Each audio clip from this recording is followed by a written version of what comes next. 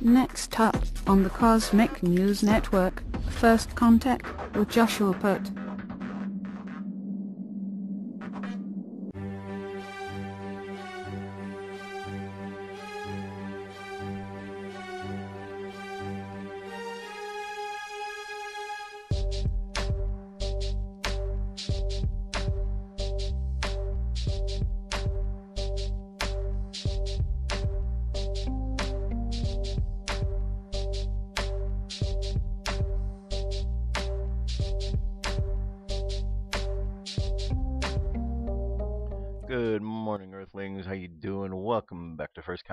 Radio. Today is Wednesday. It's the 24th of August, 2016. Our sun sign is in Virgo.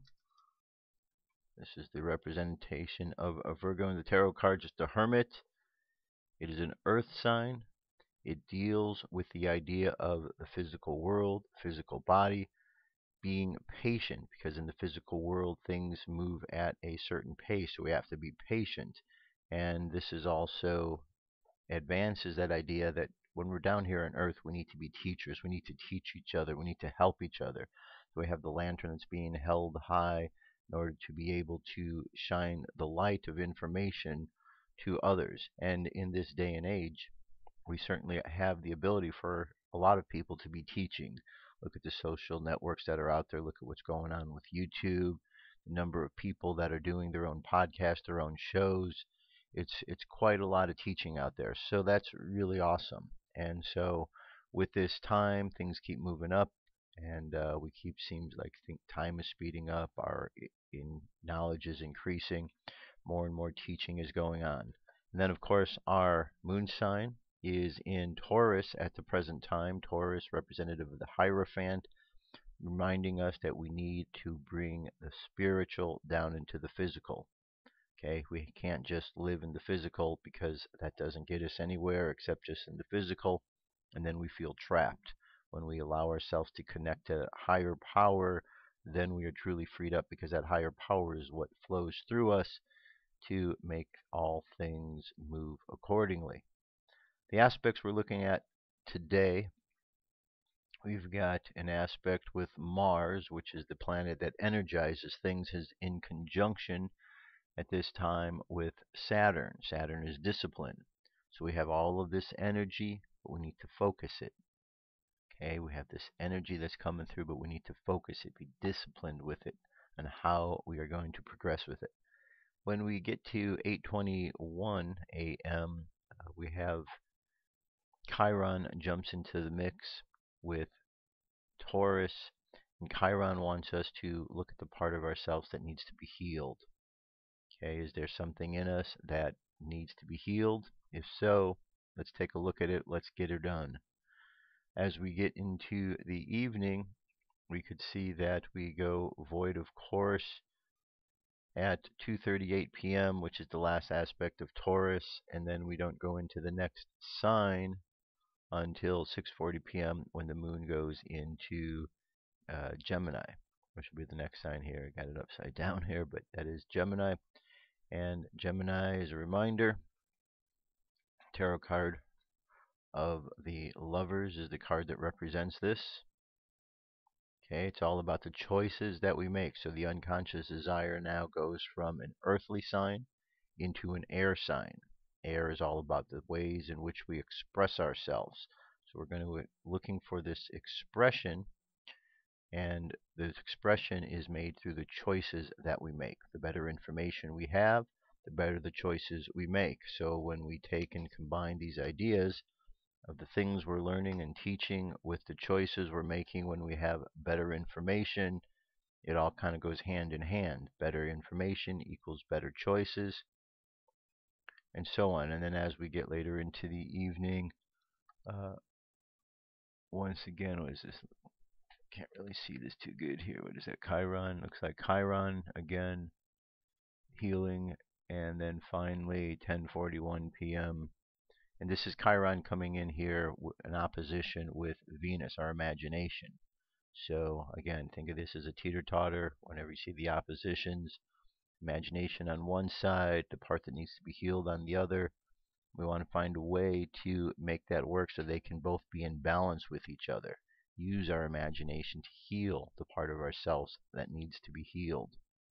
And then finally, 10:41 p.m., the sun and the moon are going to square off. There's a lesson to be learned there between Gemini and Virgo, and that lesson is information equals better choices. So we're going to really have to take a good hard look at the information we are getting and how we are receiving it and how we're processing it as well. The moon phase is a waning moon. It's going back down to the new moon. New moon will be here September 1st, which it's hard to believe it's that that soon. It's already uh, a week from tomorrow will be the 1st of September. So right now we are here in the waning moon, 56.2% of the way there. On the Jewish calendar, today is 20 Av, 20 Av is the date, year 5776. The daily thought, together. Even if all the Jewish people worshipped idols but lived together in peace, the sages taught God would not punish them. All the more so when they are united in a good cause, that oneness is a receptacle wide enough for open miracles. Okay, so just the idea of us working together is very important. Working together rather than working separately. And finally, space weather or solar wind 525.1 kilometers per second. Planetary K index, quiet at the moment, but we are going to be hitting a storm uh, over the next 24 hours. It's a 5, so if things feel a bit intense, energy seems to be amplified, there would be a good reason for it. We are hitting a storm. The coronal holes here, we Still got this one on the top. Looks like there's something on the bottom. A little over here to the left. Again, indications we are going to be hit on the 30th with some wind from there. Both flare possibilities of X and M are low, 1%. Geomagnetic storm activity, mid-latitude, seems to be decreasing a bit. 35 to 25, dropping down to 20 to, to 5. In the upper latitudes, things are stable. So things lower energy as that is moved, energy is moved from above down to the earth. It seems that if uh, things are increasing while things up high, it just kind of shows you how things move and the breathing that goes back and forth, back and forth. The energy moves down and it moves up and it moves down and then it moves up. So there you go. UFO news is up next.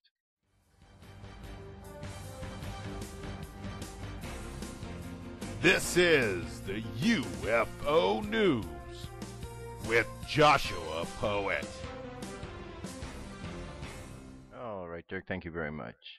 Today, I have four good stories.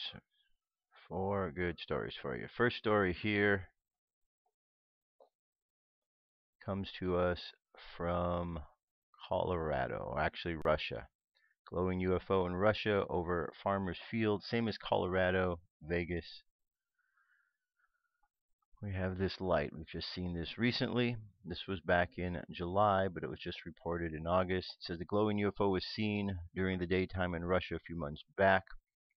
But the person uploaded to YouTube this week. It shows a UFO moving low over the field and then beyond some trees. Not sure why the camera is held sideways or that he didn't move around the tree, but we do hear him attempting to move through leaves, and then he gives up. Perhaps moving to the left was impossible, so he could only move to the right, but was blocked by the trees. This UFO is very similar in appearance to the glowing orbs seen in Colorado mountains over the Colorado mountains and over the Las Vegas mountains. I see no difference in the color or intensity of the light. This is the same, but has never been seen so close. It is, however, been seen by UFO researcher in Vegas, Stephen Barone, who watches them almost nightly and records the unprecedented uh, and unpredictable intense UFOs. So, okay, so there you go. Wow, that's pretty bright sighting there. Very interesting. So what are these bright lights that are being seen? These bright orbs are showing up in several places. This isn't the first. There you have it. Kansas, we have another object in the sky. Looks kind of orb-like. This was from the 4th of the month, reported to MUFON. The UFO was seen over a small town of Abilene a few weeks ago. Abilene is a secluded town with a low population of 6,600, so aliens probably thought the odds of being seen are much lower in this particular area. Lucky for us, they were wrong. Aliens are not perfect. They do they do make mistakes and are seen from time to time daily around the planet. They may live thousands or even millions of years, but that doesn't make them gods, just immortals who are more fortunate than us technologically. All right, person here this, that spotted this says I was on a walk in a local park when I noticed an odd light moving in the sky over me. I was able to record the object for about a minute. After the first object was out of sight, two other cameras appeared heading two other objects appeared heading in the same direction but too far out of range for my camera to see them. There's our object in question. Definitely something flying in the sky. It's not a lens flare. It is certainly an object. Question is, what is that? What indeed is that? There it looks like it's disappearing as it gets behind the clouds. And there it is again. Alright, so the video link was available, firstcontactradio.com. Check it out. Crop circle. Another crop circle popped up. This one near Chilcomb Ranges, New Hampshire. This was on August 3rd. And we have a circle with a square in the middle of it. Circle with the square in the middle of it. Not sure what that represents, but definitely much food for thought in that regard circle with the square inside. And finally, one last story going back to a sighting and an incident that happened 36 years ago. Aussie farmer may hold clue to the 36-year Valentich UFO airplane mystery. A recent photograph may reveal or may shed light on the mysterious disappearance of civilian pilot Frederick Valentich over Australian waters coast 36 years ago. Investigators have shed new light on one of Australia's greatest aviation mysteries.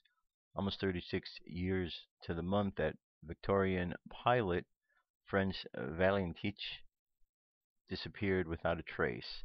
An independent researcher says there is evidence suggesting that the 20-year-old Cessna was spotted in the sky over South Australia attached to a UFO. The Victorian UFO Action Group once helped to identify a farmer near Adelaide who reportedly witnessed a 30 meter craft hovering over his property that morning after Mr. Valentich went missing. It is claimed that the Cessna was struck in the side of the craft, leaking oil.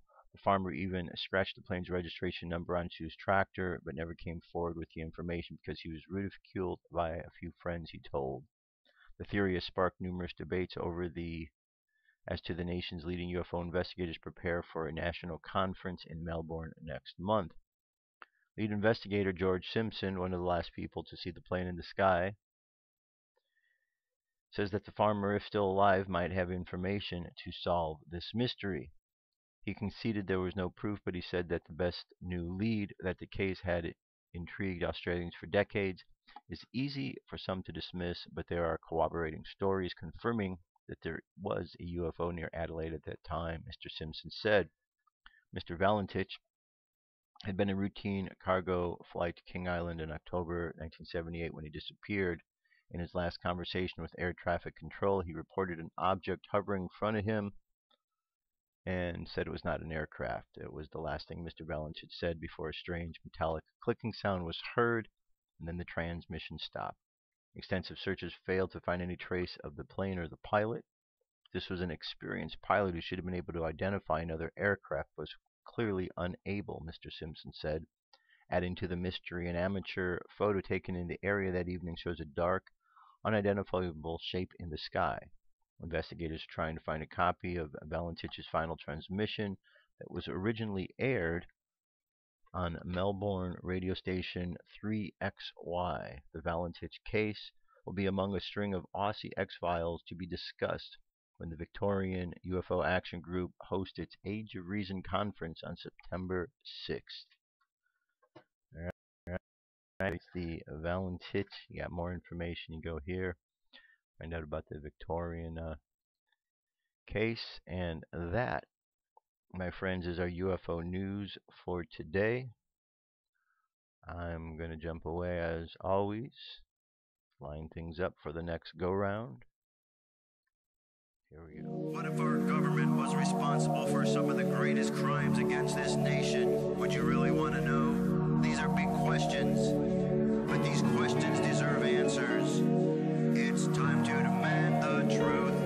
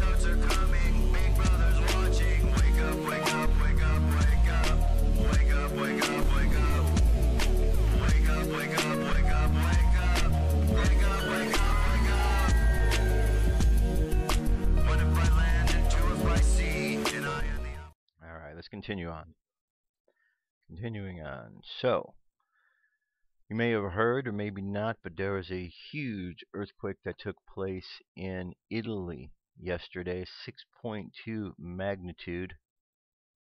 And the mayor says the town isn't there anymore. There are dozens of victims, many under the rubble.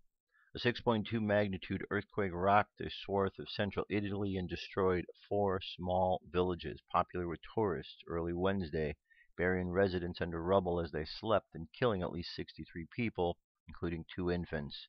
More than 100 are missing and believed to be trapped under the debris. The trembler hit at 3:36 a.m. local time near Norcia, 50 miles southeast of Perugia, and was felt more than 100 miles away in Rome. As many as 39 aftershocks jolted the region in the early morning hours, some strong as 5.1. The worst affected towns were believed to be Accumoli, Amatrice, Posta, and Arquata del Tronto, reported Reuters. Among the hardest hit was Amatrice, a village of 2,000 north of Italy's Lazio region. The entire palazzos razed to the ground. Aerial images from the fire department show that the whole streets are flattened. The town isn't there anymore, said Mayor Sergio Pirozzi. There are so many dead I can't make an estimate, he told Rai State Television. We have already extracted several dead bodies, but we do not know how many there are below. There are dozens of victims, many under the rubble. We are setting up a place for the bodies. Amatrice is known for famous All Amatricia Pista and its 14th century religious landmarks. The town was preparing for a festival held every year on the final Sunday in August to celebrate the dish.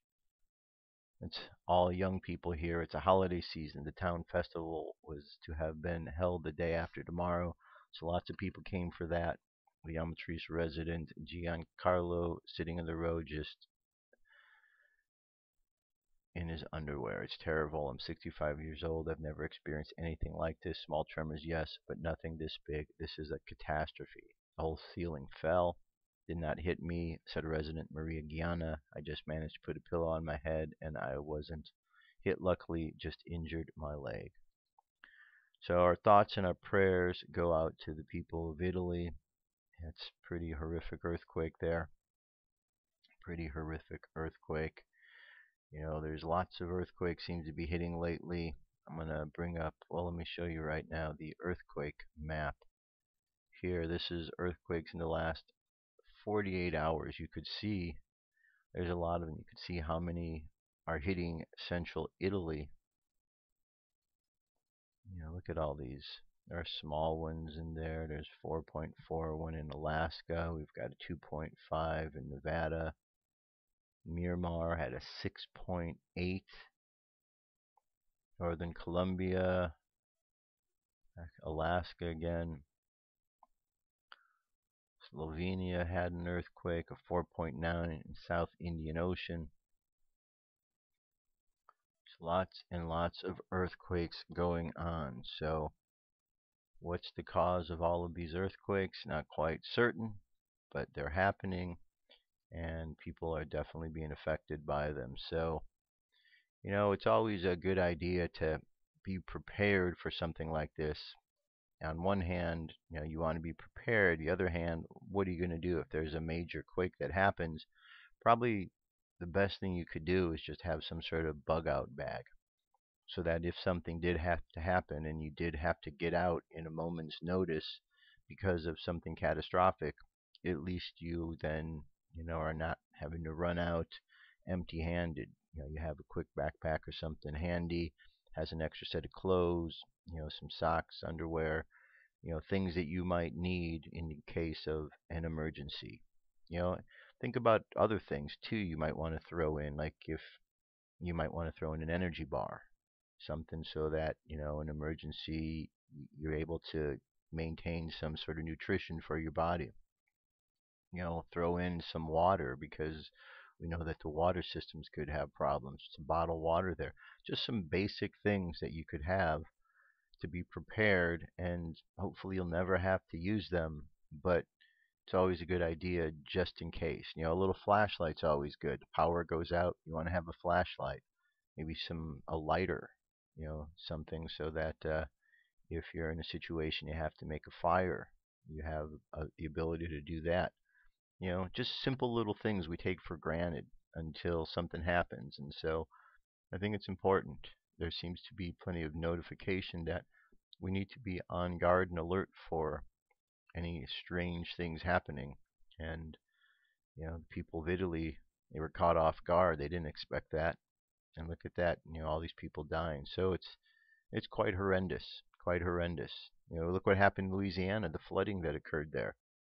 You know, that that wasn't expected and how many people, hundreds, thousands of people, they're you know, out of their homes and you look at what's going on in the streets there and all of their belongings piled up. You know, it's sad. It's sad to see all these things happen, but they're happening more and more often, more than we realize, and they're not always being reported. But I can guarantee you can go through on a daily basis and you can find that there's quite a lot of disasters taking place. Now,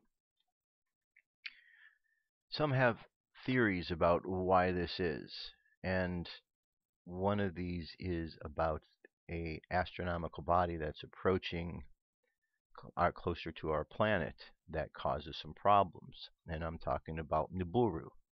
I haven't talked about Nibiru in a while. I thought it would be time to look at the subject again, simply because I'm seeing so much of it.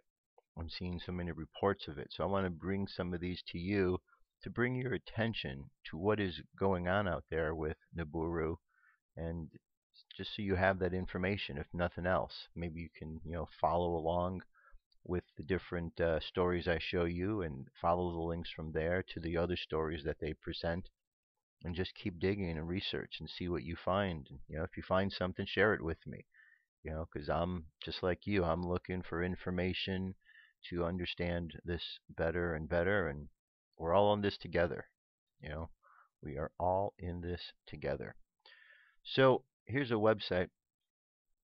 It's called Anunnaki.org. Anunnaki are the beings that are from Nibiru, as we are told. So let me just give a little synopsis here. This here, this ring here, is representative of the orbit of Nibiru. And here, right in the center here, is our Earth. Okay, and we have the planets and the stars moving around in the Earth, and then we have Nibiru, which comes in and out, just like so. and when it gets close inward, it causes an effect upon our planet. From ancient Sumerian text, there was a description of our creators, that our creators came from a yet discovered planet that enters our solar system every 3,600 years. The texts that were known as the Nephilim said they were known as the Nephilim and that they were colonizing the earth over 400,000 years ago. The Bible also mentions this race and calls them the sons of God. The planet of Nibiru was suffering in its atmosphere. It was eroding, so they came to Earth in order to mine minerals, gold, beryllium, to help them repair their atmosphere. Well, this was done in the Middle East. It's why we find the Great Pyramid and the adjacent pyramids in alone with constellations in our solar system. They created portals on Earth, highly magnetic areas to send their minerals back to Nibiru. Our race was created around 300,000 years ago as a hybrid race with native Earth animals and the Nephilim to create a race of workers to help mine the minerals from our planet. The alien leaders did not like this interbreeding and chose not to warn humankind that the impending doom on Nibiru in 1300 BC that eventually caused a great flood here on Earth. However, one of the Anunnaki takes it upon himself to inform Noah of the impending doom so that he can help avoid the race's extinction. From there, the Anunnaki promise to return in time to leave humans alone to rule our planet. Now, you have images here which show a couple of suns, two suns here. This was taken in late 2012. The reason two suns is because Nibiru would have its own sun following with it, and therefore, as it moves closer into proximity with us, we see a second sun because it is the second sun of Nibiru. Okay, in 20, 2002, the 12th planet of Nibiru physically entered our solar system, falling in line with Zecharia Sitchin's 12th planet dialogue. After entering in 2002, Nibiru went to influence the orbits of the planets in our system, changing their axis and poles along the way. And passed close to the Earth, that it influenced our oceans for several years, eventually leading to devastating tsunamis, a new awakening of volcanoes around the world, and influenced definitely the climate and the Earth's axis, which slowly moves, thus altering the position of the physical and magnetic poles. Initially, the planet's orbit came close to the Earth's south pole and the Sun and was not visible from the Earth. But late in 2012, Nibiru's oblique orbit, which was 35 relative to the solar equator plane, proved to be quite visible, and many pictures and videos were posted online questioning this new star in our skies. However, no one in the mainstream media were asking these types of questions. Why is that?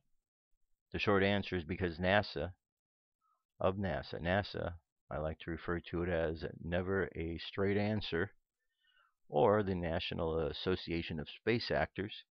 Either way you look at it, they decided to question the true orbit and return of Nibiru to our solar system. The U.S. government had urged them that it was required that they deny the existence of Nibiru in order to not cause widespread panic throughout the world.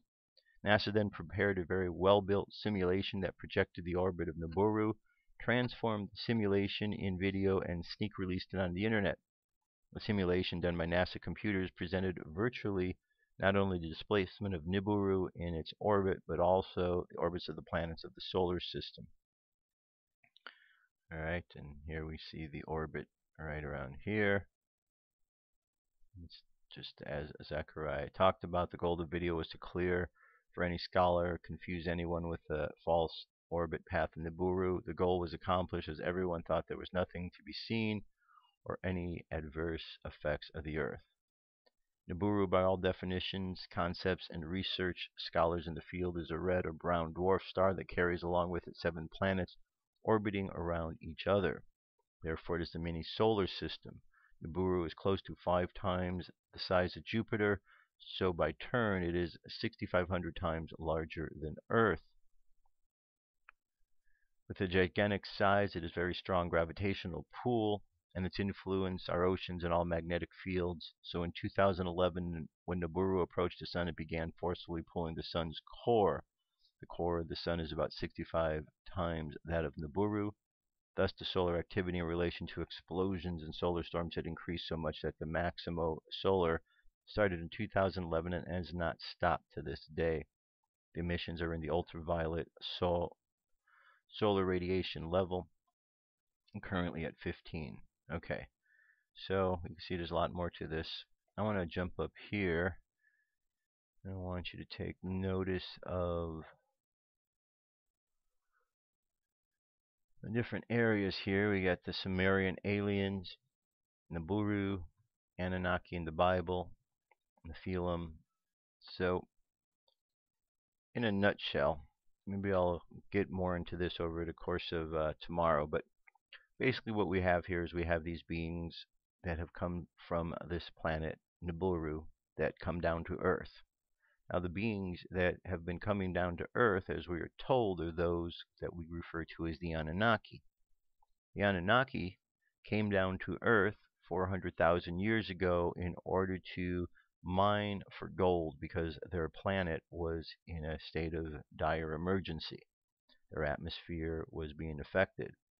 And so they came down to Earth to mine for gold. Now, there's more to the story because we understand that up there on Nibiru, there were some challenges that were going on, power struggles between the hierarchy, and it ended up where this being Alalu ended up having a battle with King Anu, and Alalu ended up being disposed down to Earth, came down to Earth in a rocket where he discovered all of these different elements of gold that could assist with the planet of Nibiru. However, he also brought with him some nuclear weapons and threatened to shoot Nibiru out of the sky. So there was a battle that ensued, and beings came down from Nibiru down to Earth. Enlil, Enki, Anu, they came down. Ultimately, Alalu was removed from the Earth. He ended up going up to Mars, where he eventually left the life force behind where he died. So down here on Earth, we had Enlil and Enki and Anu, and Enlil and Enki, two half brothers. One of them was put in charge for a while of the earthly mission, and the other one had to sit and watch. But the other one became jealous of the other brother, and so then he eventually took over.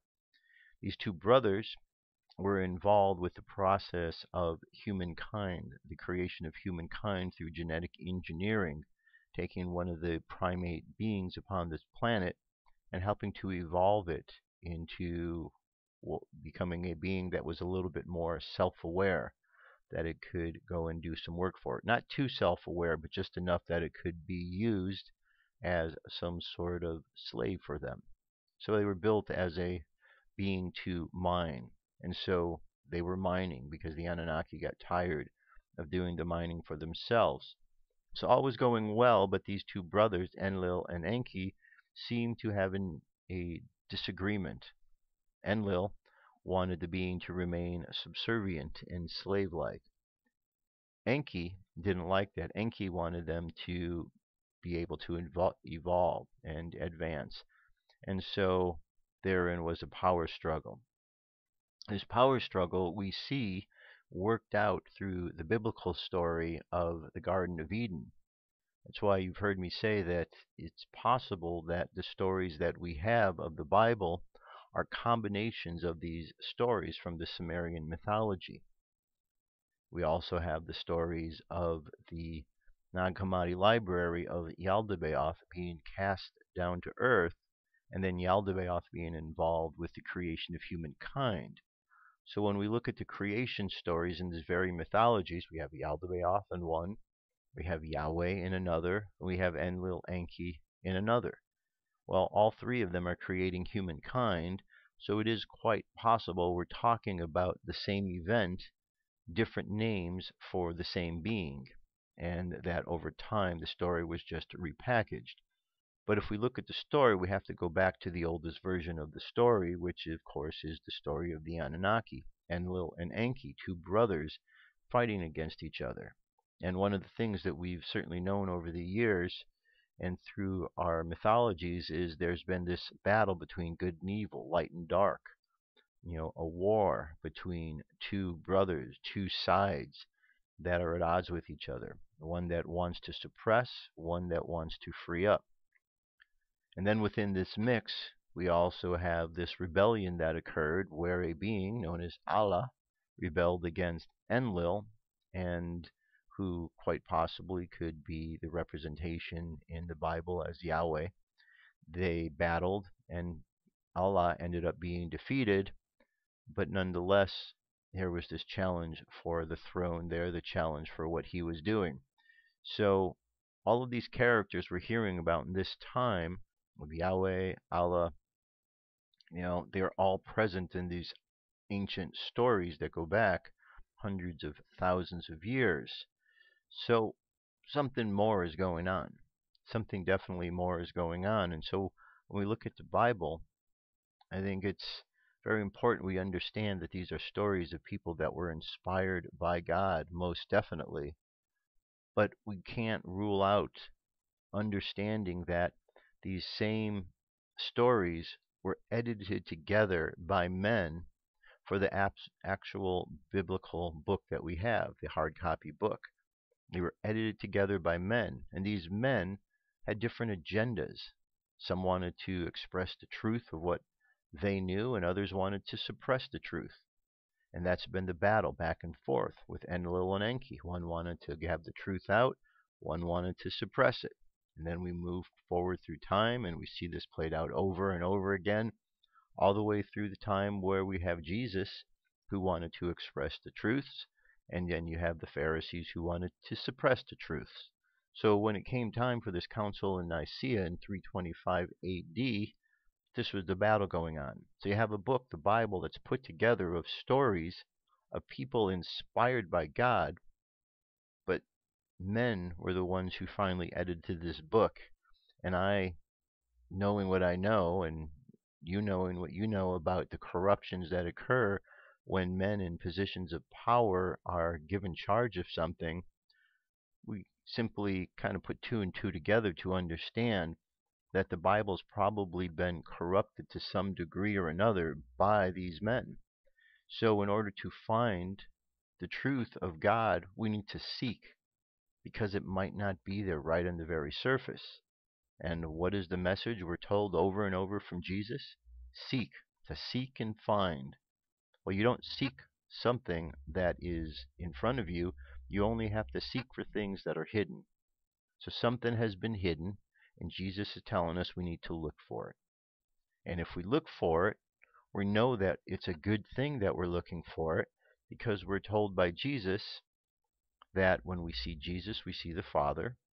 We know from the Transfiguration that God said that this is his Son and he was well pleased in his Son. His Son is telling us to seek things out. So if he's pleased with his Son and his Son is telling us to seek things out, then just following that line of thought, God would then be pleased with us for following the advice that his son was giving us to seek things out. Because in that process of seeking, we find that which is hidden. And therein is where you have the idea of if you have ears, let you hear, if you have eyes, let you see, understanding a deeper mystery that's involved. So throughout time, that's really been what we've been dealing with. So we go back and we look at these stories that are in the Bible, it's quite possible that these stories are stories that are repackaged stories of events that occurred much earlier than the biblical stories. We're talking about a flood that occurred here 13,000 years ago, yet the Bible only goes back about 6,000 years. So there's a discrepancy of 7,000 years there in the what I just read to you, according to the timeline of Zecharia Sitchin, 400,000 years ago was when the Anunnaki first arrived. That's much, much earlier than anything of the biblical stories that we have. So we could see there's many discrepancies for us to come to understand. Okay? So that's the first point. Second point within this is something seems to be occurring that people are noticing more and more about this Nibiru. It's been a discussion, a topic for quite some time, and one of the things that has been discussed as this gets closer is the effect that it has upon the Earth. Now, the effect that you know, there's there's the talk about the gravitational pull. I'm not sure if it's a gravitational pull because of all the things that we've studied that I've been talking about for the last couple of years. I think there's a different connection. I think there's an electromagnetic connection that's going on. And this electromagnetic connection, because we are beings that are electromagnetically connected, are, be, are going to be affected when the electromagnetics are off. And so as this planet gets closer to us, and it and because it's such a large body, much larger than Jupiter, certainly much much larger than Earth, it would be affecting the electromagnetic energy here. Well, if we're operating and we're affected and part of this electromagnetic energy, as we know we are because we have the positive and negative poles, masculine energy that goes back and forth. If we're affected, what are some of the things that are affected? Well, we have the earth, which is physically affected. We're seeing more earthquakes, we're seeing more tsunamis, we're seeing more crazy weather patterns. We have governments who want to attribute the weather to global warming, but if this is because of another planet that is out there, global warming would be off the table because you can't do anything to stop that. So we have that issue. If the electromagnetics are affecting us, it's going to affect our brains.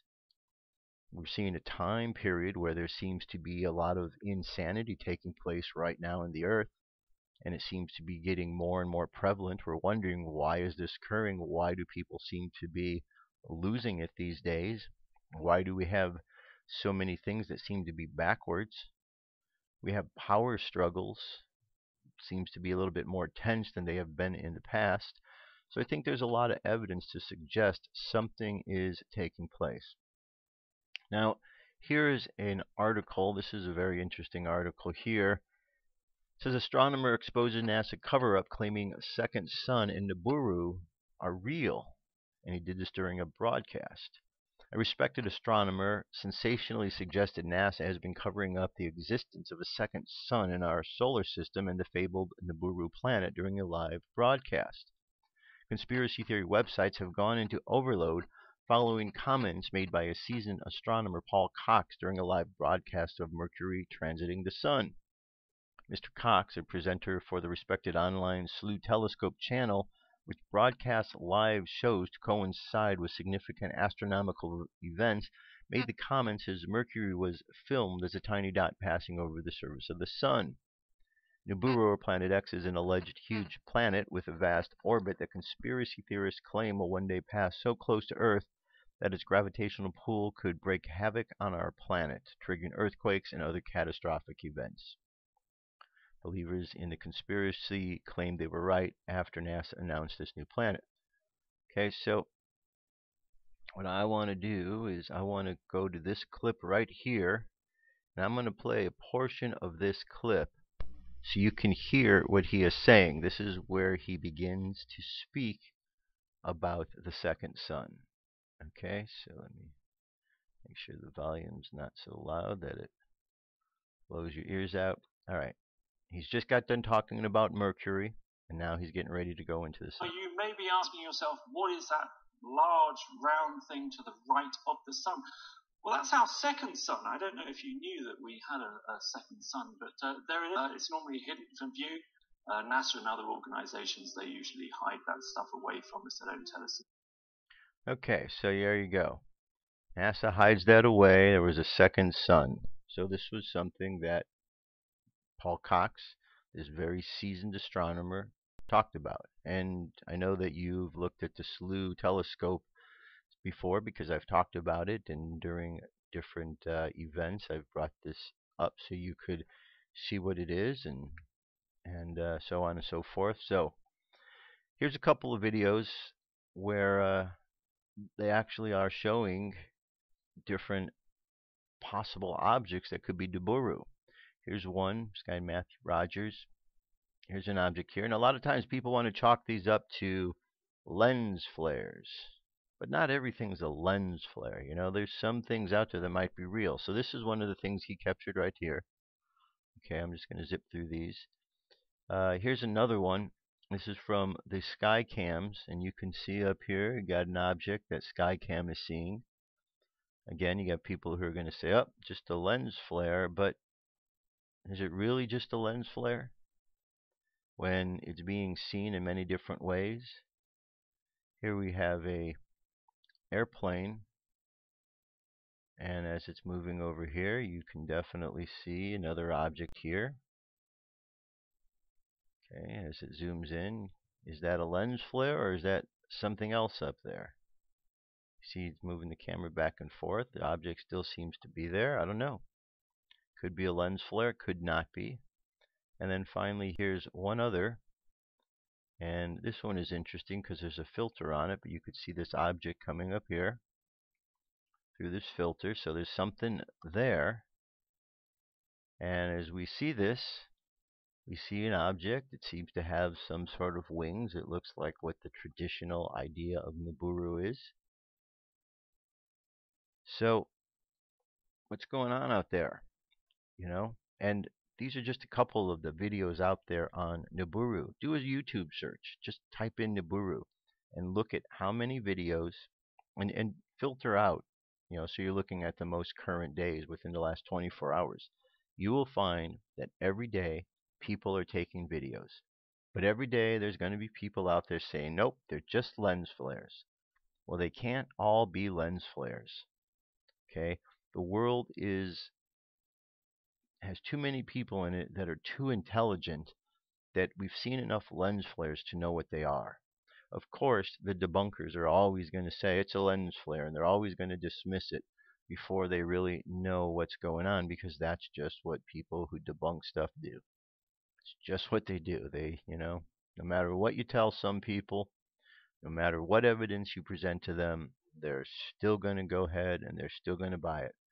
It's like with the election. No matter how many crimes you bring up against Hillary, no matter how much corruption she's been involved with, people are still going to go out there and still vote for her because they just don't care. It's a very bizarre event that takes place in the world. It happens over and over. It's like Obama. You know, all the stuff that's going on, all the evidence that people said about him early on was dismissed. And people said he's a Muslim, he's a terrorist, he wasn't born in America, he's not who we think he is. People dismissed it. But now, all these years later, people are recognizing hey, this is some truthfulness to it. Unfortunately, we didn't listen, and eight years has passed, and we're in the situation we're in now because we didn't listen. So, you know, could be another one of these situations something to listen to. All right, here's another article What the Church Isn't Telling You About Nibiru and the Anunnaki. This is from Greg Prescott at In5D. Silently, the Vatican is releasing information about Nibiru entering our solar system and extraterrestrial neighbors who have already met with Vatican officials. But they are not telling you everything. While the mainstream media remains conspicuously silent, while detracting our attention to idiotic events such as Justin Bieber's DUI, disclosure information has been slowly leaked by the Vatican indicating the presence of extraterrestrials on and visiting our planet along with an incoming anomaly called Planet X or Nibiru. The following testimonies confirm the Vatican's knowledge of extraterrestrial and Nibiru.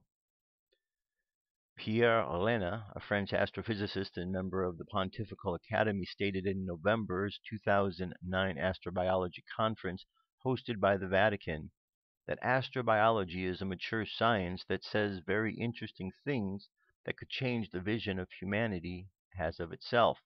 The Church cannot be indifferent to that. Chris Impey, a university distinguished professor and deputy head of the Department of the University of Arizona and a keynote speaker at the astrobiology conference added, the first discovery is only a few years away. Guy Cos, Consul Magano, Consolmagno, leading astronomer for the Vatican, stated, Very soon the nations will look at aliens for their salvation. Consolmagno believes that humans are not the only intelligent beings created by God in the universe and added that these non human life forms are described in the Bible as the Nephilim. Dr. Christopher Corbally, Vice Director of the Vatican Observatory Research Group on Mount Graham until 2012, who believes our image of God will have to change if disclosure of alien life is soon revealed by scientists. Uh, the late Vatican Monsignor Corrado Balducci not only believed in the presence of alien intelligences already interacting with our planet, but also believed that the Vatican has been aware of it. Balducci believed that extraterrestrial contact is real and that extraterrestrial encounters are not demonic. They are not due to psychological impairment. They are not a case of entity attachment, but these encounters deserve to be studied carefully. Balducci went on to state as God's power is limitless, it's not only possible but also likely that inhabited planets exist. I always wish to be the spokesman for these star people who are part of God's glory, and I will continue to bring it to the attention of the Holy Mother Church.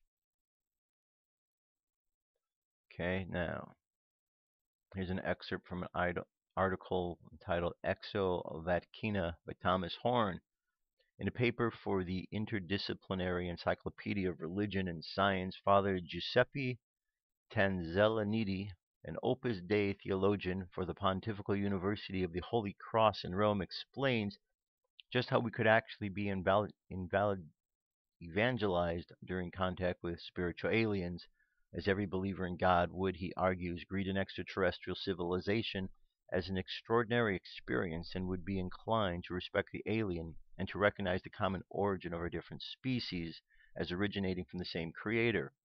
According to Giuseppe, this contact by non extraterrestrial intelligence would then offer new possibilities of better understanding the relationship between God and the whole of creation. Giuseppe states that this would not immediately oblige the Christian to renounce his own faith on God simply on the basis of the reception of new unexpected information of a religious character from extraterrestrial civilizations, but that such a renunciation could come sooner after the new religious content originating from outside the earth is confirmed as reasonable and credible. Once the trustworthiness of the information has been verified, the believer would have to reconcile such new information with the truth that he or she already knows or believes on the basis of revelation of the one and triune God conducting rereading of the gospel inclusive of the new data. Now, in 1997 interview with Art Bell and Coast to Coast AM, Father Malucci Martin, Malachi Martin, excuse me, was asked why the Vatican was heavily invested in the study of deep space at the Mount Graham Observatory. Martin replied, because the mentally mentality amongst those who are in the highest levels of Vatican administration and geopolitics know what's going on in space and what's approaching us could be of great importance in the next five to ten years. Reverend Jose Gabriel Funes, an astronomer and director of the Vatican Observatory, stated just as there is a multitude of creatures of earth, there could be other beings, even intelligent ones, created by God. This does not contradict our faith because we cannot put limits on God's creation and freedom. Funes added, God was made God was made man in Jesus to save us. In this way, if other intelligent beings existed, it is not said that they would have need of redemption. They could remain in full friendship with their Creator. All right, so there's more to this article here you could see. I'm going to leave that to you to finish that up. You see something's going on here, right? Something's going on here with this planet Nibiru. Now, over time, I've talked and I've introduced a number of subjects from the Hammadi library, which certainly talk about the spiritual hierarchy in a different way than what we normally hear it. It is information that kind of rocks the boat. I've had numerous conversations with people about this, and people get really, uh, their feathers really get ruffled when you bring up some of these subjects because they're so locked into the actual words of the Bible that they can't look past that. I believe that the Bible is a very important book filled with the inspiration of God. But as I said, that book was edited by men, and as we know, men can be corrupt and can find ways to remove God from a situation. Case in point, this day and age, 2016, where we see God being removed for so many things. So why is it so difficult to believe that back in 325 AD, when these men got together, that they decided that they were going to try to remove whatever concepts they could in order to confuse people? It's not really a stretch of the imagination. We understand history's written by the winners. So after Jesus was crucified, do we really think that these men got together and said, okay, now that we finally got rid of him, let's take all of his words and let's make sure the public gets these words so they understood everything he was saying? I don't think so. Because if that was the case, they would have just left him alive. But they didn't. They wanted to get rid of him. So probably when they got done, they probably wanted to strike his name from the records as best as they could.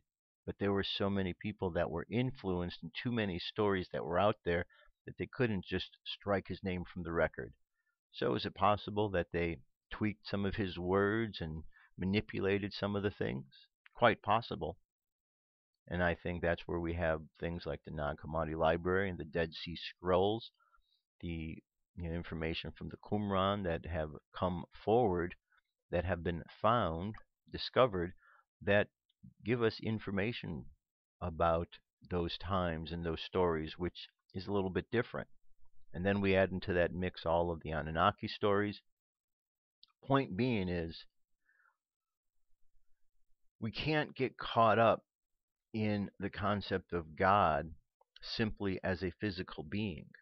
Because if we do that, we're going to start looking to other physical beings to be the gods in our life, and that might not be the case. The Spirit of God is much bigger than anything that would be a physical representation, much greater than anything of that.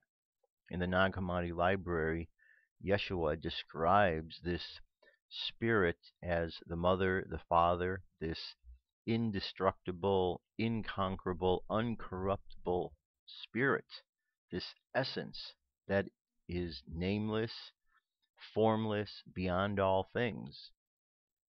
Well, the stories that we have in the various books are all beings, beings who have claimed to be that ultimate source, but ultimately were not that ultimate source.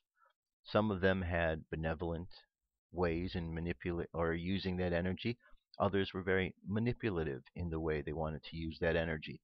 So I think we all need to keep that in perspective. So if something occurs that an extraterrestrial race makes itself known to us, we need to just keep in perspective who and what they are.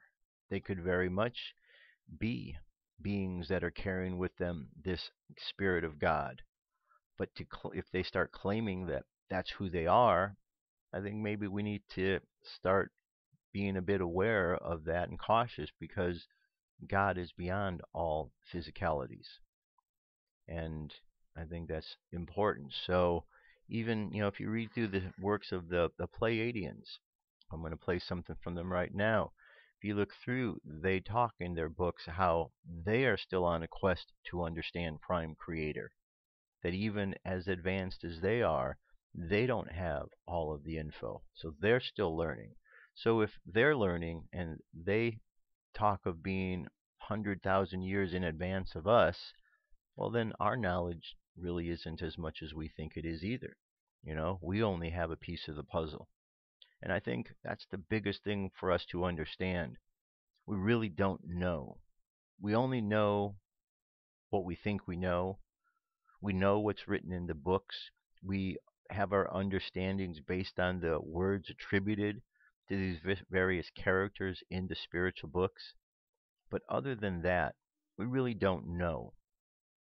And what we rely upon, other than those words in the books, is our personal experience.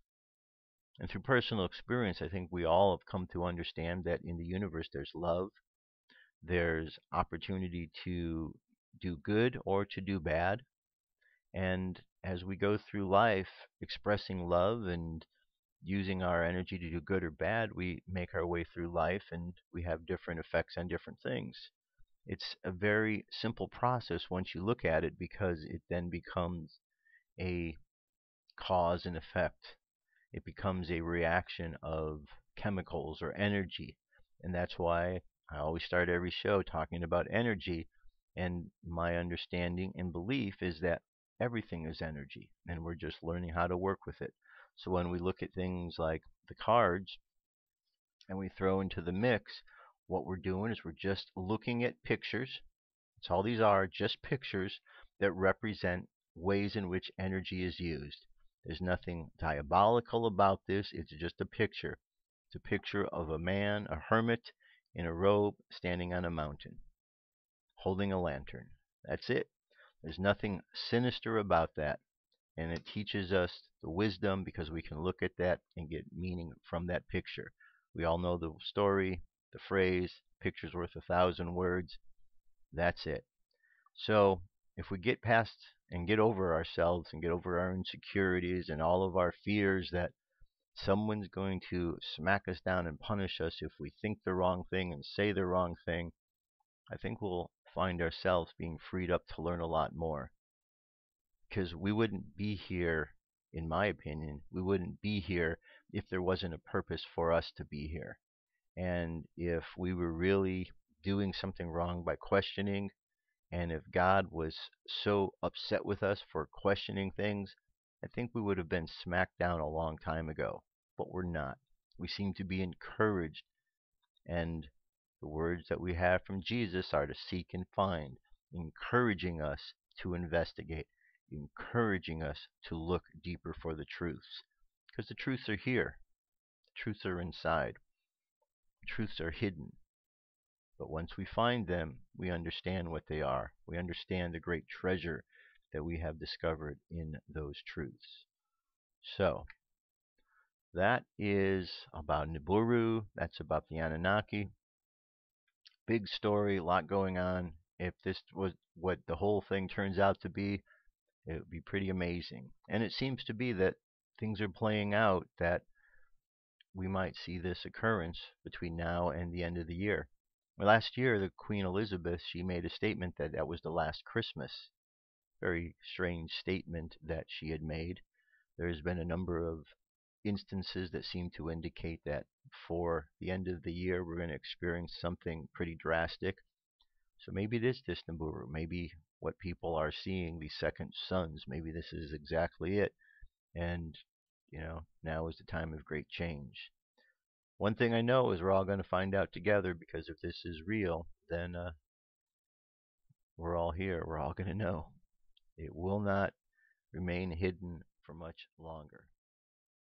All right, here's the channel message I was speaking of. This is from the Pleiadian High Council of Seven. Good and Bad The Pleiadian High Council of Seven channeled by Daniel Scranton. We are the Pleiadian High Council of Seven, and we are pleased to offer you our words of wisdom.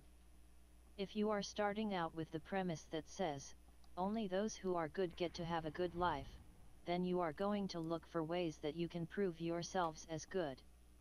This is something that has been sold to you by religion, and also by governments, parents, teachers, and anyone else who has ever assumed an authority figure role in your life.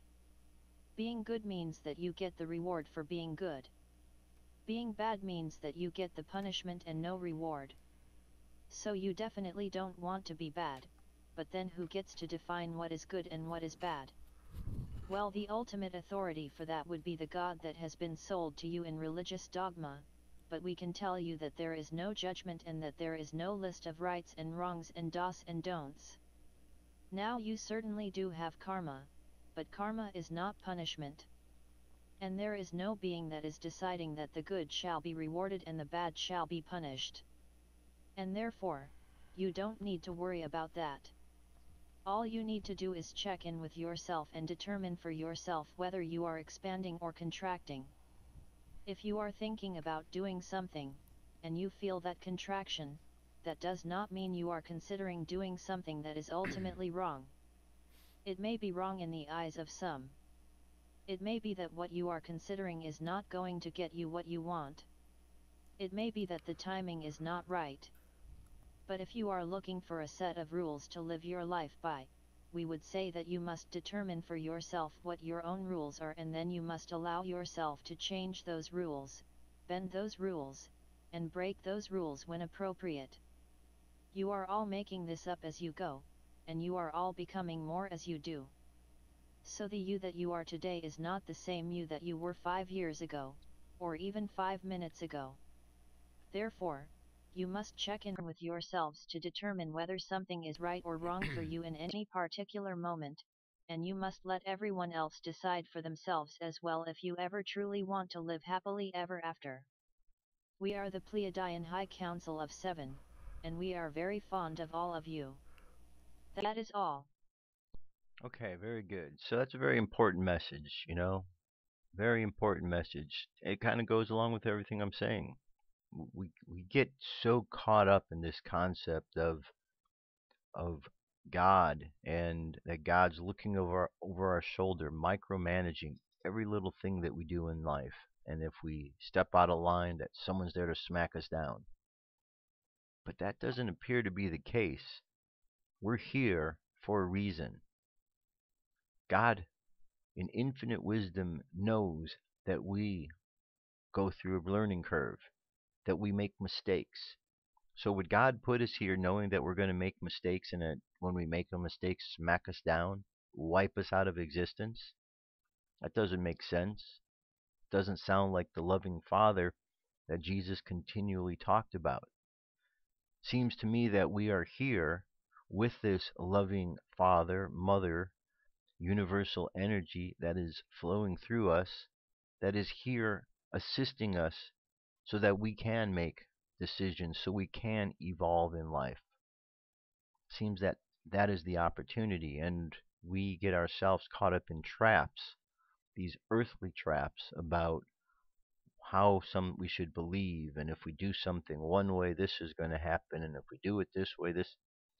And I think we, uh, I think we are our own worst enemies at times, and we have to free ourselves up from that, because God is so much more expansive than the limitations that we humans down here choose to put upon God. And I think that's what we're all eventually going to find out as we continue to move along, move along, move along. All right, here's our meditation. Close your eyes. Take a deep breath. Exhale. Take another breath. Exhale again. And another breath. And exhale. Now, let's imagine ourselves as a ball of energy. And as we feel this energy, we think about where this energy is coming from. And we look outside of ourselves, but we don't see the energetic connection coming from the outside. And we look inside and we see the energetic connection connecting us to something beyond this physical realm, and that we are simply projections from the invisible into this visible realm. And what we see around us in the outside world is the reflections, the movie that is playing from the inside to the out. So, as we understand that this movie playing outside of ourselves is being reflected and shown from inside, we make our way to the in- inner planes to see behind the curtain, to see the process taking place, and there we discover universes upon universes, infinite planes of existence.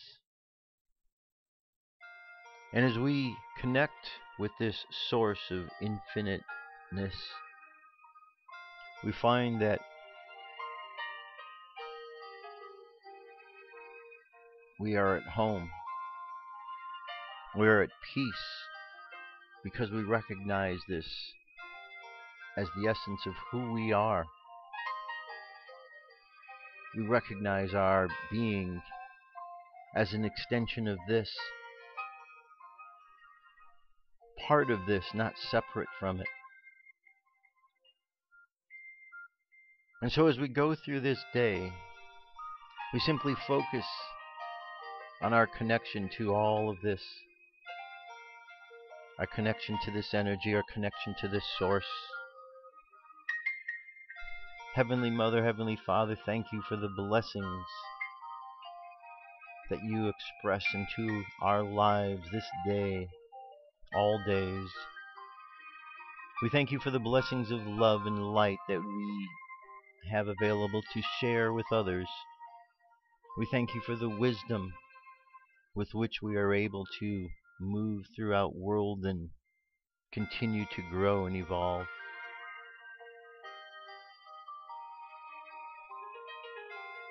We thank you for all of these blessings.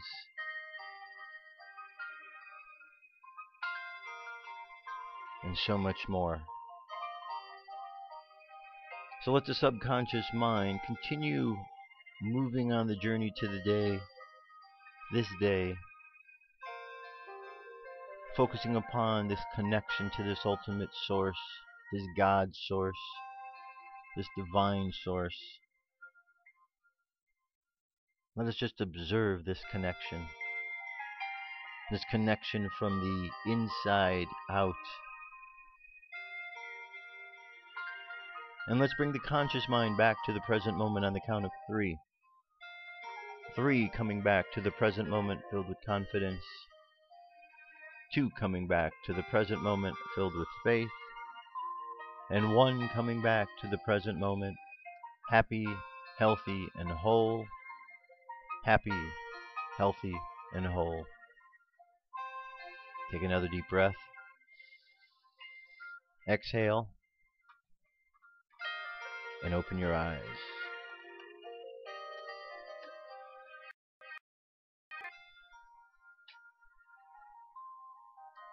All right, my friends, that is it. Thank you so much for being here.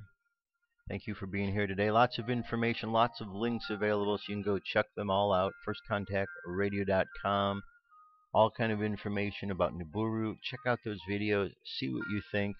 Some things may be lens flares other things may not be. They're not all lens flares. So we need to be discerning. We need to move past the skepticism that is out there and use our own innate understandings when we look at things. The world's going to continue to be filled with skeptics.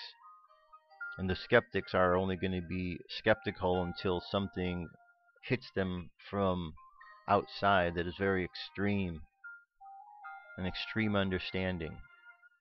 But some people require that. And others, they understand it without having to go through those extreme experiences. Either way, we're all in this together, my friends, and we're all going to experience what life is bringing our way one way or another.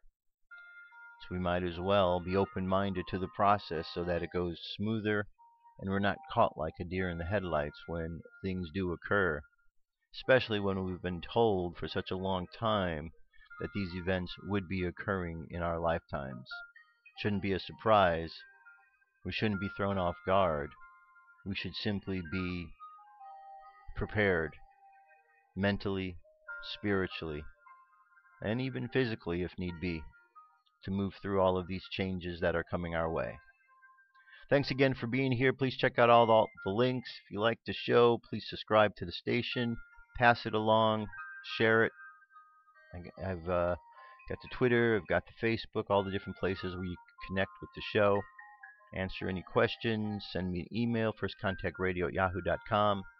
All that good stuff. All right? And have yourselves a great day. I'll be back tomorrow. We'll continue on. I'll maybe I'll bring some stuff about uh, some more about the Anunnaki, get into them a little bit more, and some other good stuff. Till then, have an awesome day. I love you. Keep loving each other, and I will talk to you soon. Peace. I'm out of here.